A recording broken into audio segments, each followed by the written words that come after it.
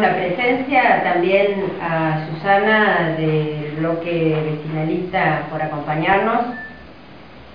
Nosotros les pedimos a ustedes que estén presentes, queremos realmente denunciar lo que ha ocurrido en la sesión, el abandono de parte de, la sesión del bloque Unión Pro y de la coalición cívica en una muestra de intemperancia, de falta de compromiso con la ciudad, de compromiso con los vecinos, a negarse a tratar los expedientes que estábamos ingresando.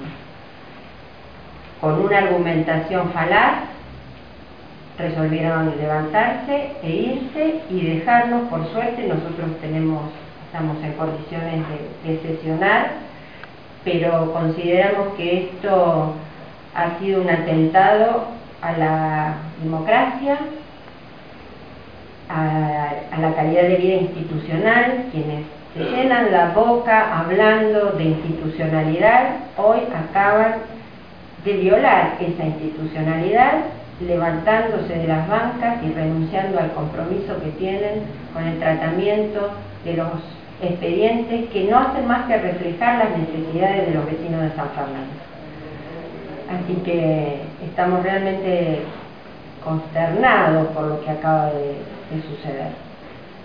Quienes se llenan la boca haciendo reclamos, hoy que teníamos la posibilidad de tratar expedientes que hacen al bien común, resolvieron eh, Viviana, en general cuando un bloque se levanta trata de dejar sin quórum la sesión. Esto no pasó en el día de hoy, resulta un tanto llamativo.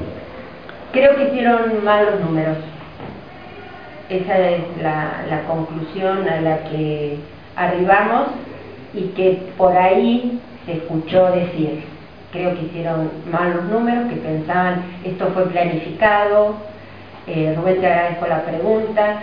Nosotros tenemos una norma que es no sorprender a los bloques con el tratamiento de expedientes sobre tablas. Nosotros los llamamos con tiempo, eh, así que estaban al tanto de, los expedientes que íbamos a pedir tratamiento sobre tablas y encontraron un argumento para hacer esto que yo no puedo más que denominar un escándalo, eh, en base a un número que hicieron erróneo, porque se dieron algunas ausencias, una del bloque justicialista y de la Unión Cívica Radical, que murió un, familiar de, del concejal Freitas, lamento muchísimo la situación que está viviendo, creo que hicieron mal los números y entonces pensaron que se levantaban y nos dejaban a nosotros, no solamente al bloque justicialista, los bloques que tienen